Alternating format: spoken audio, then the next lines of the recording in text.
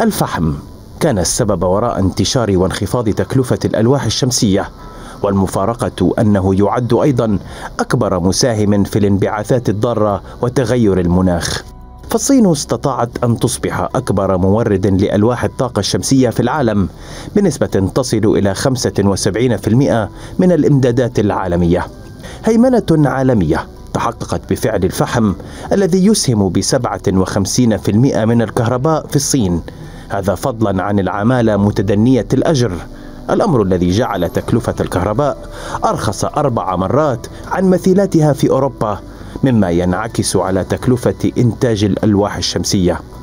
رغم ذلك فإن استخدام الفحم في إنتاج الكهرباء يعني أن تصنيع الألواح الشمسية في الصين ينتج ضعف انبعاثات الكربون مقارنة بتصنيع نفس الألواح في أوروبا.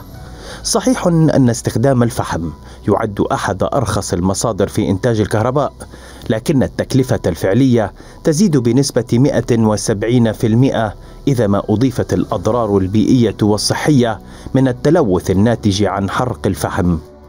معضلة التلوث هذه جذبت الانتباه في الولايات المتحدة وأوروبا فهناك معسكر يرى أن الاعتماد على الألواح الصينية سيقوض جهود خفض الانبعاثات الضارة.